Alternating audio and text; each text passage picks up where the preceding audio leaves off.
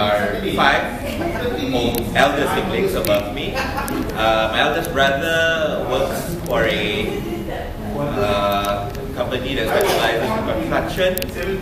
Is Nostradamus, put down the name tag. he would be Okay, as you speak, I want you to yes, use your gestures. so he will be Up your hands. He will be 50 years old Okay. next year.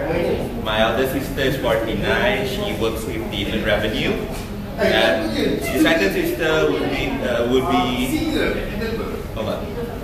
The second sister is 46, and she used to work with a uh, she used to be a bank manager, and she's been